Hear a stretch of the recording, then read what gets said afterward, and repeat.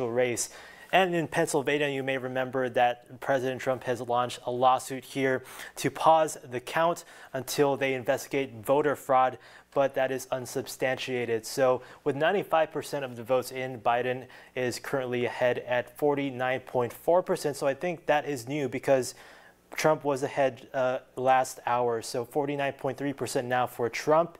And again, this is with 95% of votes in. It was updated 13 minutes ago, so those are definitely new numbers. So once again, Pennsylvania, Biden is ahead.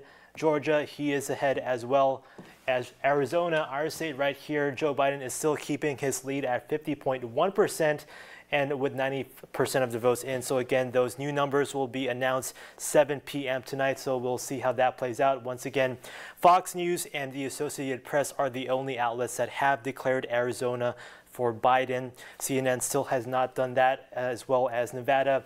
Six electoral votes are up for grabs there. Dominique, back to you. Gabe, thanks. We'll continue watching those numbers closely. And back here at home, the Division 2 seat for the Imperial Irrigation District was one of the toughest